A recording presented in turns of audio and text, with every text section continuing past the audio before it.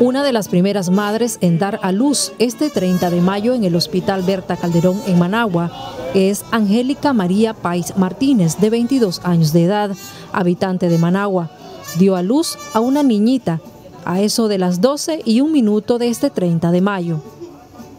Bueno, estoy feliz porque no esperaba que naciera ayer exactamente a las 12 de la noche, pero bueno, es una bendición más. Tengo mi hijo varón y ya con ella tengo la parejita. ¿Cómo te sentís hoy en este 30 de mayo sobre todo? Mira, feliz, tu bebé. Feliz. Una fecha especial, doble especial. Así es, y más porque casi no molesta. ¿Cómo fue todo el parto, la atención? La atención bastante buena, gracias a Dios. Es segundo parto. Tengo una niña de, tres años y ellos son los últimos ya. ¿Gemelo? Sí. ¿Cómo te sentís? Dos muchachotes, ¿ah? Pues me siento, gracias a Dios, feliz porque me los regaló y gracias a Dios porque todo está bien. La primera mamá fue una joven de 25 años que dio a luz a las 12 de la noche y un minuto, un parto el que tuvo, un niño, una niña, perdón, que fue una niña que nació muy saludable, está con ella. Posteriormente tuvimos el nacimiento de un, un parto vía cesárea que fue un gemelar.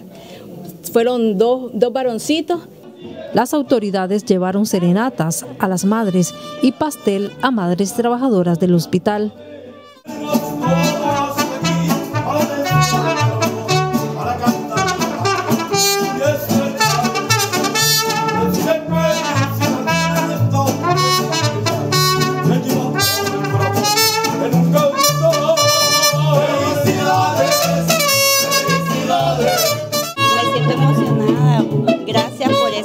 Gesto que tienen para las madres y que Dios les siga bendiciendo cada día más.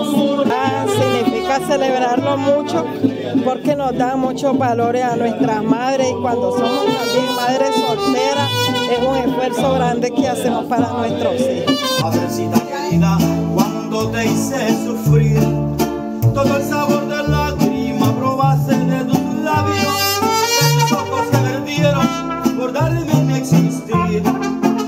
quiero que no sufras, yo quiero que no llores, que tus oraciones me Felicidades, que la pasen bien, que disfruten, continúen con su trabajo, con el proyecto de nuestro buen gobierno, que es brindar la salud a la mujer nicaragüense.